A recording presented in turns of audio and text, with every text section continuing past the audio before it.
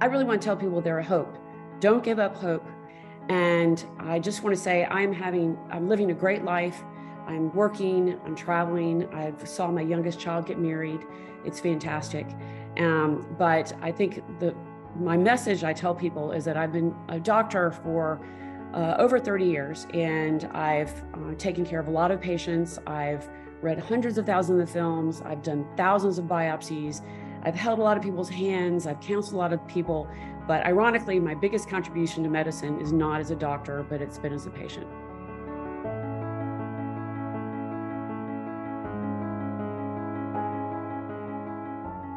And ironically, um, then I was diagnosed with lymphoma out of the blue uh, in my late 40s, uh, very much of a shock.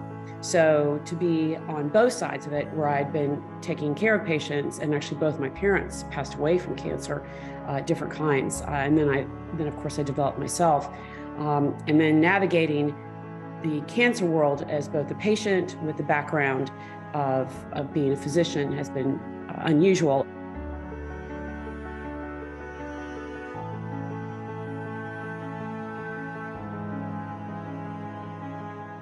And that's one of the reasons I'm thankful to be here. I feel like one of my missions is to try to get back, to try to bridge the, the gap between doctors sometimes and patients so that they can learn to talk to each other better and so that patients can learn to advocate for themselves and doctors can perhaps understand where they're coming from. Yeah, thank you for, yeah, definitely thank you for being here and for offering that perspective that is very unique. I mean, this is a personal topic for me as well. Uh, DLBCL is all over my medical charts. Um, I was 31 when I was diagnosed. And then so just like you, Robyn, there's that shock. What was it for you that was a red flag that led to the diagnosis? And share a little bit about getting that diagnosis. I had a swollen lymph node, but it was an unusual location. Uh, given my field of cancer uh, detection, I actually had a lymph node in what's called your supraclavicular region, which is you never have normal lymph nodes there. When you have a cold, those don't swell up. Usually, when you have a lymph node above your uh, collarbone there, a lot of times it can be a symptom of lung cancer, gastric cancer, ovarian cancer, or even breast cancer. Um, but I felt a lymph node literally while I was watching TV, and I knew it was bad. There's just it's it's never good. Uh, so my process for diagnosis went very fast. I ended up with a CT the next day, which I looked at, and I found out I had lymphoma because not only did I have this, I had lymph nodes all the way up and down my neck, which you couldn't feel. And I'm actually, I'm not a big person. They were all very small. They were just too many of them. And I actually had some lymph nodes behind my nose and then something called Waldeyer's ring. And I thought I'd had allergies. I was congested. And that actually was lymphoma. Um, so somewhat of, you know, not totally unusual presentation, but the, uh, it, everything went really fast. It was a shock. I mean, I really had no symptoms besides that. I was working 60 hours a week as a mother of three. I ran every day. I ate well. And before I knew it, uh, I had a CT scan, a PET scan, a port put in, and immediately I started on R-CHOP, which is the standard therapy. And um, it was initially very successful for me, uh, but uh, that's, we digress. And then I go on to when did, didn't work later. So first, let's start, Dr. Brody. What, in as human terms as possible, um, is diffuse large B cell (DLBCL), and maybe are there some common first red flags or symptoms? So, uh, in regular English, lymphoma is a cancer of lymph cells. What are lymph cells? So this is, you know, real simple. You think about breast cancer, cancer of breast cells, prostate cancer, cancer of prostate cells. It's a healthy cell that becomes a cancer. So, what are lymphocytes? Lymphocytes are a certain type of blood cell um, they are specifically blood cells that may live in your lymph nodes. When you say swollen glands because you had a cold or a sore throat or something, those glands we're talking about are usually lymph nodes. And lymph nodes are all around your body, your neck, under your arms, inside of your abdomen, everywhere, everywhere. So that's the, the, first tricky thing because when you think breast cancer, prostate cancer, you think, oh, I know where the breast, the prostate is. And so that makes sense lymphoma comes from lymphocytes, which mostly live in lymph nodes. So they could be anywhere in the body. So when we say what are the sort of common presenting symptoms of lymphoma, yeah, it depends on which lymph node area had a, a cell become cancerous. Uh, but still, amongst uh, all of those possibilities, you know, swollen lymph node in the neck, swollen lymph node under the arm, we still say that the most common presentation is just a painless swollen lymph node. Um, and you know where that is right can can be very variable literally anywhere in the body and then there are even subsets of lymphomas that don't even show up in a lymph node per se um, sometimes we talk about this primary mediastinal b cell lymphoma they are lymph nodes there but they're not in the common lymph node spots we think of the neck the underarms and so forth they just show up in the middle of the chest the mediastinum but yes lymph nodes that are swelling and usually uh, painless usually and getting worse over weeks and weeks and weeks. Yes, those need to get evaluated. Those are the most common presenting symptom of diffuse large B cell lymphoma, which is the most common, or we say the highest incidence type of lymphoma. So, uh, Robyn, you mentioned RCHOP. Let's let's go there. Let's talk about standard of care before we go into the clinical trial space. Uh, Dr. Brody, what has been um, the standard first line treatment in DLBCL? We heard Robyn talk about RCHOP, and we also can cover something that's a more recent approval. Yeah, so for the past 20 years, um, you know, maybe there's been a, a bit of an evolution or change in this in, just in the past one year. But for the past 20 years, absolutely, RCHOP has been, uh, I would say, the standard of care. It doesn't mean that everyone gets RCHOP, but most people do, probably certainly more than 80%, probably more than 90%. Some people may not get our RCHOP maybe because it can uh, be a little tough. So uh, we have patients who are in their 90s and they may get a gentler version of RCHOP or even slight variations of that. Um, we do have patients in their 90s who still get RCHOP, but it's not gentle therapy for a 40 year old like Dr. Stacy Humphries was, and it's definitely not gentle therapy for um, someone with two of those 40 year olds underneath their uh, belt. So uh, we sometimes give gentler versions, and there's sometimes even more aggressive versions. There's a therapy uh, that Stefan, you definitely know about called REPOCH, R-E-P-O-C-H. So you can hear it's all the same letters as RCHOP plus one more letter, the E. And um, again, it's really just kind of a tougher version of RCHOP. In some ways, it seems to be uh, hmm, better in, in that it's maybe more effective, but in a big randomized trial comparing the two, there wasn't a clear difference. So we think that maybe REPOCH is just good for certain super high risk subsets of patients. Um, and so maybe, you know, five or 10% of patients instead of getting RCHOP might get that REPOCH. Um, and yeah, that has, as, as Dr. Stacy Humphries said, was a big evolution just from the CHOP of the 90s and you know easily added a 10 plus percentage increase in the cure rate uh, to standard therapy for these patients with DLBCL. So it's a big, big deal. Uh, actually, I was very lucky because rituximab sort of came out of uh, Stanford and and and IDEC, Biogen, Genentech uh, back in, uh, in the early 2000s. So it was an exciting time for us to have that big, you know, that C transformation, a, a change in era. We now entered the rituximab era of treating patients with DLBCL. So that was exciting to see. And now we're still seeing maybe comparably exciting evolutions to what may be the standard going forward now. That's amazing. Yeah. And to have all that history and to be front and center when it was all going on, that must have been exciting. And um, you know, speaking of changes, we have a recent approval that, you know, of course, was in clinical trials and then was approved by the FDA, polatuzumab or Polivy and R-CHP, which is R-CHOP without the O, for first-line treatment. Uh, the question, I think, when these things happen is how much real-world data is there, and and just what are your thoughts uh, about it as another option for people? Exactly that. That, that R-CHP, uh, Pola R-CHP, we say uh, is another option. It's not the right answer, but it might be the right answer in the future. We'll see. Um, yeah, the alphabet soup is tough enough when the words are pronounceable, but once you take the O out of CHOP, now it's R-CHIP plus polatuzumab. Um, harder and harder to pronounce, but uh, but maybe more effective. So there's this big trial, Polarix, a randomized trial. Half of the patients got R-CHOP, half of them got Pola R-CHIP. And the punchline was that the Pola chip was a bit more effective. Maybe 6% more people stayed in remission for the first couple of years. So it's possible that could, you know, eventually translate to an increased cure rate, but it's not that yet. We need more time to follow those folks and see how they do. But a 6% increase, you know, staying in remission for two years, that's not nothing. I mean, if you were one of those six out of 100 people, that'd be a big deal for you. The only catch is it's not, you know, for free in that there is some extra side effects, but not, not too bad. It's just that the, the risk of infections during the therapy uh, was moderate, but it was also a bit increased in the Pola R chip. Uh, in, interestingly, it was about a 6% increase on that side as well. So maybe 6% more people staying in remission, maybe 6% more people getting this significant side effect. The side effect lands you in the hospital, so it's not nothing.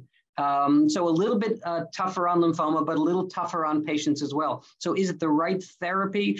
I wouldn't say it's the right therapy for everybody, but certainly I, every lymphoma doc is kind of weighing each patient. It's, I mean, it's supposed to be individualized, personalized for this for each patient, and saying, yeah, this patient might, you know, do well because they're younger and healthier uh, and wouldn't, you know, have a high risk of side effects. Um, and this patient, you know, may not do well. A 90 year old probably wouldn't get pola R-CHP um, because already R-CHOP is tough therapy for them. Uh, and also maybe for the higher risk patients, and maybe certain subsets uh, of the high risk patients might get the most benefit uh, from the pola R-CHP. So probably in America in the near future, maybe half of patients are going to be getting pola R-CHP and half of them getting uh, a good old R-CHOP as we go forward.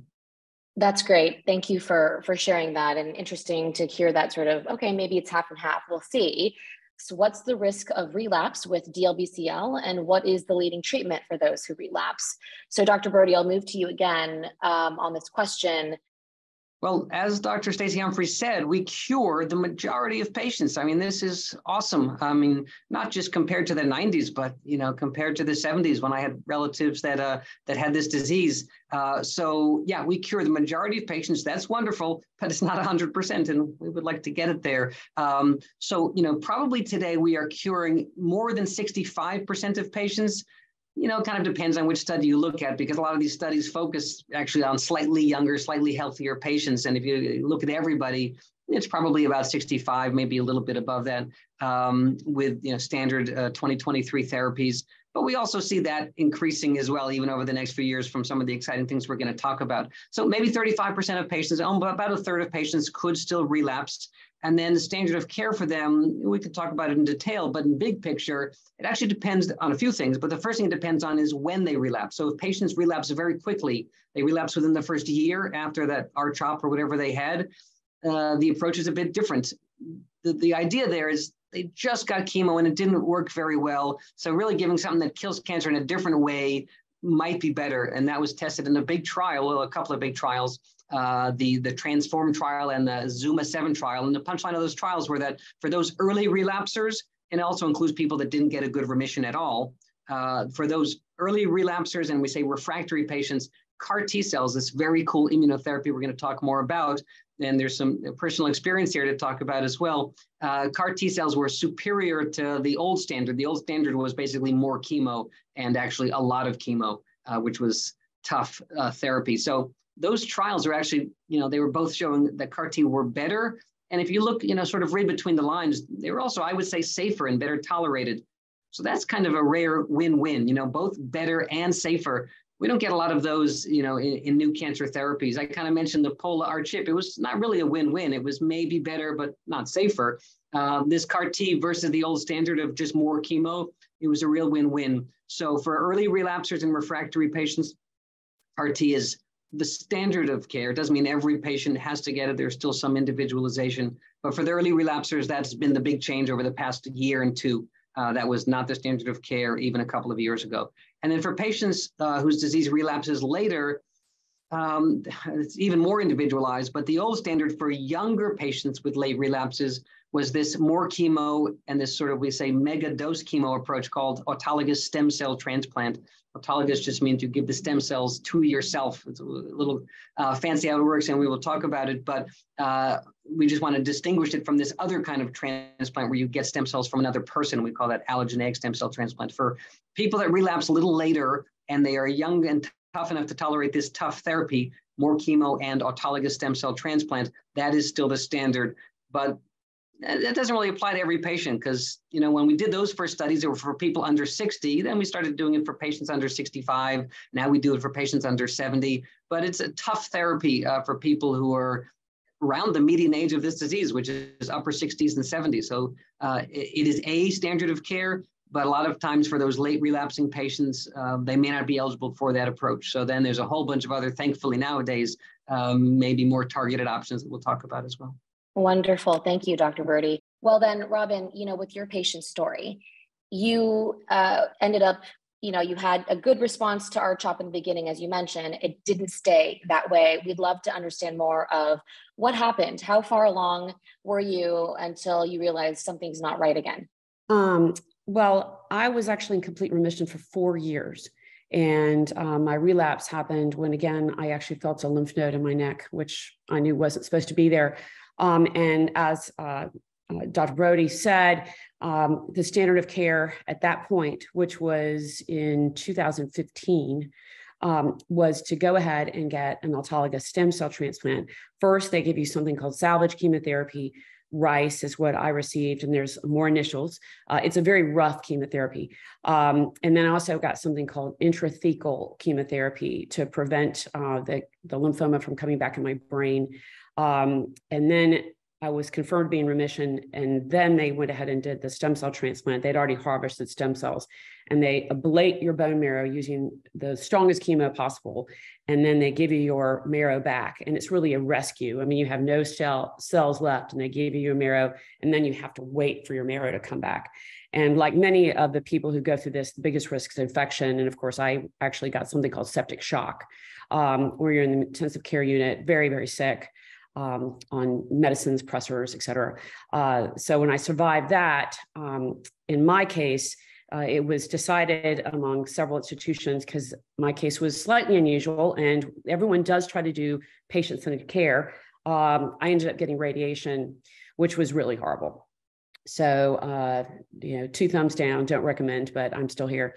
Um, and so that was my uh, second treatment, but I was very, very sick. I couldn't eat solid food. I dropped uh, from a BMI of 22 down to a BMI of about 15 or 14. Um, it was it was quite difficult. Uh, and then you know I was actually then trying to work. So um, that that was my second experience, and and I just um, it, it wasn't great. But you know you do what you have to do just to survive. And I did get great care. So my doctors were fantastic. It just had some complications. I was in I was remission for nine months after the, the um, autologous stem cell, and then actually the CAR T, the um, lymphoma came back. At this time, it actually sort of came back even more aggressively because not only was it in my neck, it was underneath my armpit, in my groin. That had never occurred before. Um, and at that point, uh, they found out I had no match uh, for an allogeneic transplant, um, and no one was even close. And the, the, doctors were very shocked about that. But I had already decided I did not want to go through that again. And I had done some research online at www.clinicaltrials.gov, and I did this on my own. Um, and we had started researching other options, and I had heard, you know, things about these T cell therapies. They had talked about killer T cells, CAR T. It had actually been in the news in 2015, so or 16. So I started looking into that, and that's how I actually ended up going into a clinical trial. Uh, and I'm very, very grateful I did. It was a phase two trial. It was definitely a leap of faith, but I just had a feeling it was the right thing for me. And I was an excellent candidate because I was in really, really good health, except for the fact I had lymphoma. So for a clinical trial, this is perfect because I had no comorbidities. And that way the doctors could actually figure out, you know, is this going to really work or was there something else that would interfere with the um, procedure? You know, uh, Robyn, you went through this. Uh, let's rewind a little bit first. Just, you know, you you are in, you know, you're a physician, so you have, I think, more of a know-how maybe of navigating clinical clinicaltrials.gov or understanding what's in the pipeline how did you determine that this was what you wanted to do what was so um, you mentioned it was a leap of faith and you know was it you who brought it up was it a, a different doctor who brought it up uh, and what was the experience like when you actually went through CAR T? In a nutshell, uh, my I decided that I want to do CAR T because I didn't have an allogeneic match, and that would not have gone well. The best I could have had a haplo match, which is a half match with my son, but uh, I had not done well with the uh, auto stem cell. So I didn't think I was going to do well, or might I may not sur- have survived an allogeneic stem cell transplant, and I may not have had a normal life. I wanted to have that quality of life. And uh, the theory of CAR T, I'd read about it um, in some scientific articles, and I just Googled this. Nobody really told me anything. Uh, I just thought this made sense because right now, the basis of, of cancer therapy is you either cut it, you burn it, or you poison it. Um, so taking your own immune cells is actually, you know, much nicer. It's, uh, you know, lovely as compared to the other ones, even though it has side effects. So when I did the clinical trials, I really didn't have that much of an insight. I just put in my diagnosis, I found out all the trials, and we emailed every single investigator. And that's how I ended up. And the reason I ended up in the trial was it was quite frankly the only opening that existed. We even looked in Sweden, we looked all over. I was really ready to sell the house and move wherever. Um, so we were lucky to get one about nine hours away. So fast forward, I signed up for CAR T. It is brand new. I'm the second person at this hospital, huge hospital that gets the the um, treatment. Um, when they took my T cells out, uh, then they gave me some uh, just one chemotherapy agent. I got bendamustine. Some people get flu-cy, and then had these T cells infused, and they were in like a little 10 cc bag, and the infusion took about five minutes, and everyone in the room clapped and uh, they just left. so it was very anticlimactic. Um, but in my case, they actually started working very quickly. So I at that by the time I came in, I had a lot of lymph nodes here in my uh, armpit. The one in my groin was really hurting, and uh, within 24 hours, they started melting.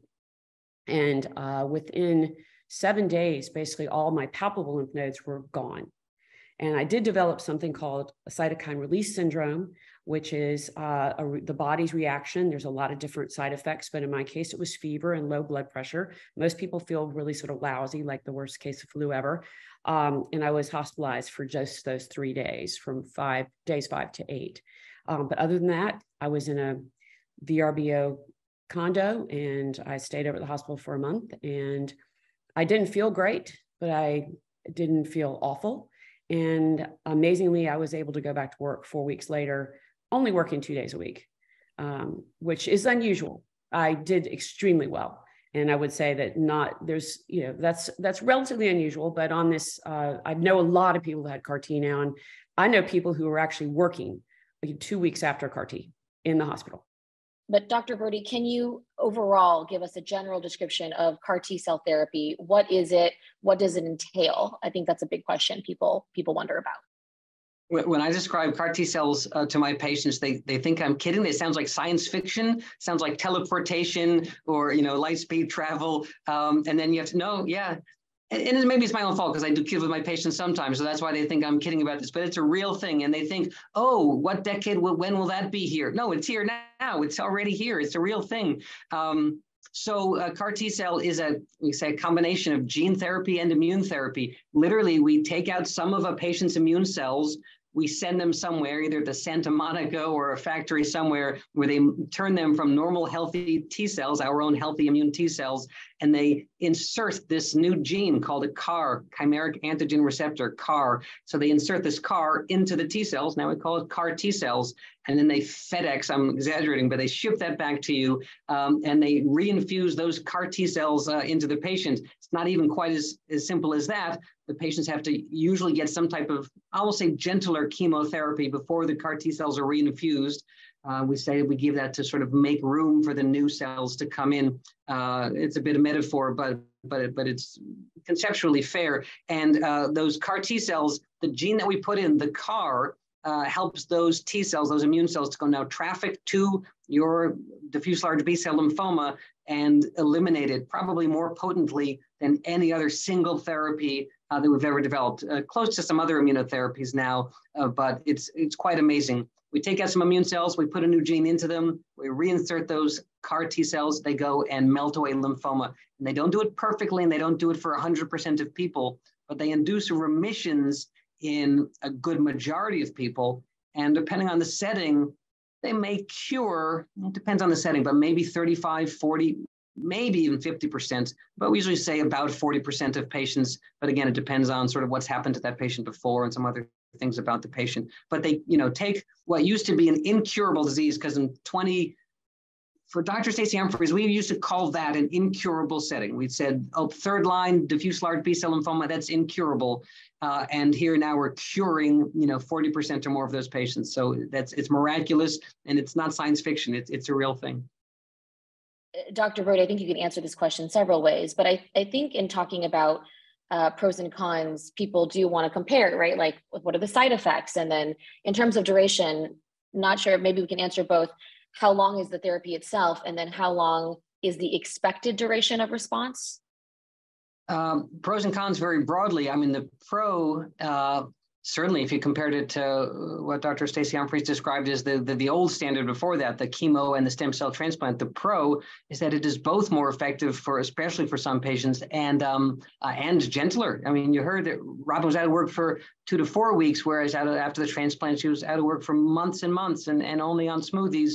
So you can hear right there because when you ask doctors about efficacy, we can give you numbers, you know, 40%. But when you ask about side effects, it's little, we kind of describe them in more nebulous, vague ways because it's not clear which number to give. The number of percentage of people that get an infection. I mean, there's so many numbers you could give, but that is a great metric, a great number. Just how long were you out of work for?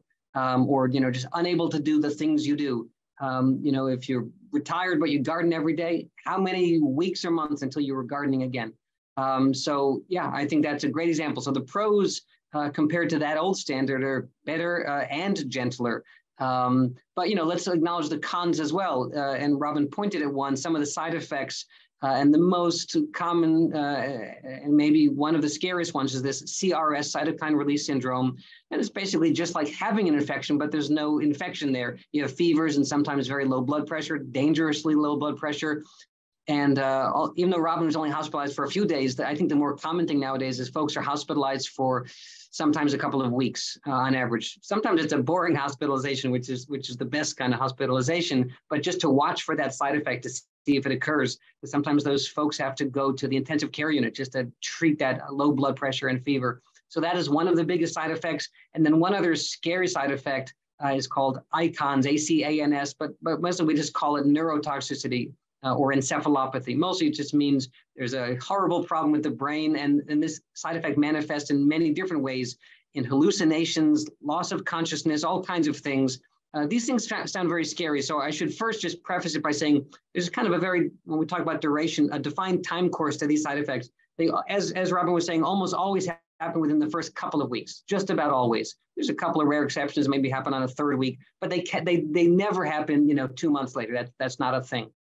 Um, so, so Dr. Brody, let's talk about bispecific antibodies, which again, another very technical term. Um, some have described it very simplistically. Maybe the description would be more of an off-the-shelf CAR T option. And I think the larger theme here too that I've heard, and and we get a lot of questions from patients and care partners about is, will I have greater access if I don't live near a great, you know, large hospital or academic center um, with these bispecific antibodies? So, so Dr. Brody, what are they, and can you just talk also maybe loosely about some of the side effects? Sure, sure. Yeah, these are I would say the most exciting and transformational thing in lymphoma and DLBCL, certainly in the last couple of years, or maybe you might argue, maybe ever, because their total impact they're going to have, my belief in the next few years is going to be unparalleled. Um, so bispecific antibody. So we talked about an antibody already. We talked about rituximab. So it's an antibody. What are antibodies? They're these magical little molecules, these big long proteins that bind very specifically to one thing. Uh, and we make antibodies against COVID after we get a vaccine or get COVID, uh, and uh, a company can make antibodies against certain targets on lymphoma cells. So rituximab is an antibody against lymphoma, but it just binds lymphoma. So now some, I would say, brilliant pioneers from a few groups developed these bispecific antibodies. They bind two things. They bind lymphoma cells and they bind one of your immune cells, one of your T cells, these same T cells we were making CAR T cells out of before. They basically bind them. Some people use a Lady and the Tramp with one spaghetti noodle metaphor here. Uh, and if you haven't seen the movie, anyway, it brings them together. And except uh, the only difference, instead of the kiss between the Lady and the Tramp, we say this gives the kiss of death because the T cell kills uh, that lymphoma cell and kills it pretty well, just like the CAR T cell that we were talking about before. So in a way, it is sort of an off-the-shelf version of a T cell therapy, like the CAR T cell. We're talking about some downsides of the CAR T cell, the practical downside, I mean, it's very cool that it's an individualized, you make the new medicine for each person. I send my T cells in, they send me back my CAR T cells. That's cool, but it's logistically, practically very difficult. So it takes a lot of time. Uh, how much time is a bit variable. It could take two or three weeks to make the product, but sometimes it takes a couple more weeks just to kind of plan the whole thing out. And sometimes it takes more weeks even just to get to see the doctor to plan that. So there can be real delays there. Whereas these bispecific antibodies, you just inject it right into the patient, no delay there. So they are in some ways practically a lot easier because uh, they are off the shelf. You don't have to make it for each person. Uh, and so the, the, the efficacy of them has been, I would say overall awesome. They are not perfect, but they are putting a, a big proportion of patients into complete remission. And some of those patients are staying in complete remission for years. Uh, so that's fantastic. Maybe the numbers are a little less um, amazing than CAR T cells in efficacy, but they are also, as we're saying, a lot easier. And you're asking about possible side effects. Overall, they're a lot gentler. Um, those CAR T cells were causing sometimes the bad side effects, CRS or the neurotoxicity, in maybe 10 and 20% of patients, whereas these bispecifics causing those same side effects in maybe one to 3%, the, the bad version of those side effects, in maybe one to 3% of patients. So that already opens up a lot of opportunity because some patient that maybe was not eligible for CAR T because it would have been too uh, scary, maybe they could be eligible for bispecifics. And then also you're asking about just the kind of ease of access. Yeah, CAR T cells are available at a limited number of centers. Uh, that can be tricky because uh, you're not just going there for one day to get the therapy. You're there for a while, um, as Robyn was saying, and um, and bispecifics should be available. Maybe not today because they're really they were just FDA approved uh, in June, basically uh, over the past couple of months, May and June.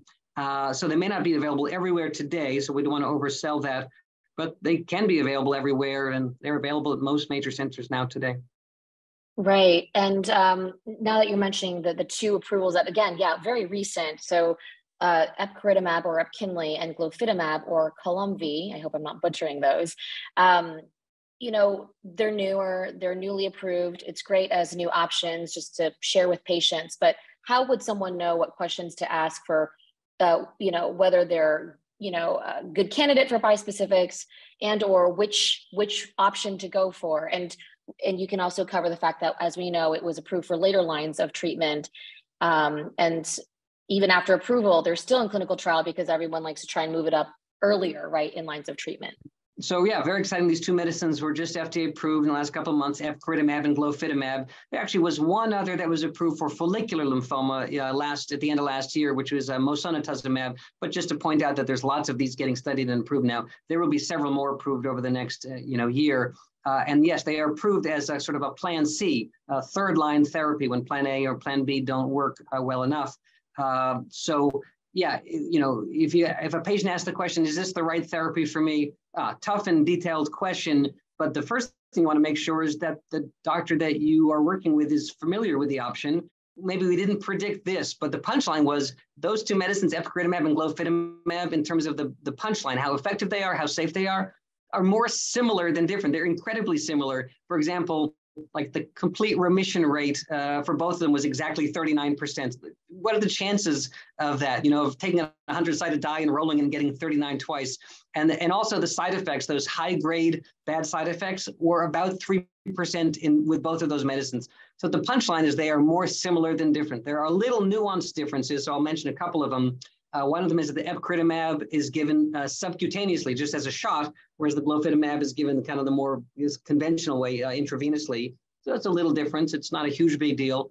Uh, and also sort of the timing of them is a bit different. The epcoritamab has sort of more visits and they might go on for longer. Uh, and the glofitamab maybe fewer visits and, and, is designed, the recipe is for it to stop after about nine months. So those are little nuanced differences. It doesn't give you an answer of which one is better. They're actually extremely similar. We do ultimately make a decision for each patient, but they're pretty similar overall. Yeah, that's exciting for sure. I appreciate that, Dr. Brody.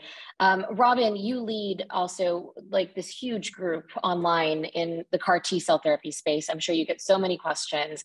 Just curious if you started to get questions about bispecifics and also just you, you've seen what people are uh, concerned about. What are what is your take on where you think bispecifics might um, you know, fill a gap or be a good option for folks?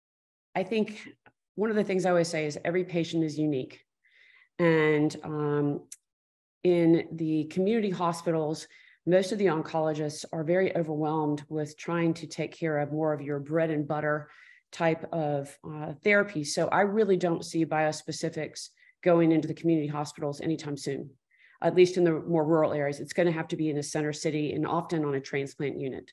Um, so for biospecifics and CAR T, I see them as very similar. As far as on the CAR T site, we do have people who fail.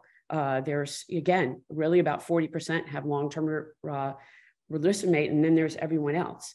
Uh, so what uh, I, I think that that most of the people after the second or third round should see a specialist and they should find a lymphoma specialist uh, and then they'll have to decide what they would rather have or what's best for them with a new bispecific. It changes the whole gamut. Um, so I think everything's very early. Um, I think patients need to be their own advocate and have to be honest. Uh, as much as they would like to stay in uh, rural Montana uh, and be with their family doctor who's and their oncologist is great, but if you have something serious like this, you really have to be your own advocate and you'll have to travel. All right, we're at the last moment now here where we'd love to understand sort of the final takeaway um, from each of our panelists um, in terms of maybe the most important thing or or just the one thing that they'd like for you to walk away from um, tonight with? Messages that we are patients with lymphoma are unlucky to have lymphoma, but so lucky to be here today with that lymphoma. Whereas, you know, 20 years ago, we didn't have nearly access to medicines that cure patients and keep them in long term remission to go and live their lives, hopefully, just like they were before. And we only have those new medicines because patients join clinical trials so if patients join clinical trials today, they sometimes are getting access to the medicines of the future. These new bispecifics that just got FDA approved, our patients were getting access to them three years ago because they did this slightly scary thing and asked, hey, are there any clinical trials available? And for some of them, thank goodness, because uh, they're still here to tell their story today. I really want to tell people there are hope. Don't give up hope. Make sure you ask questions. Feel free to get other opinions really good doctors are not insulted when you get another opinion. Just take my word for it.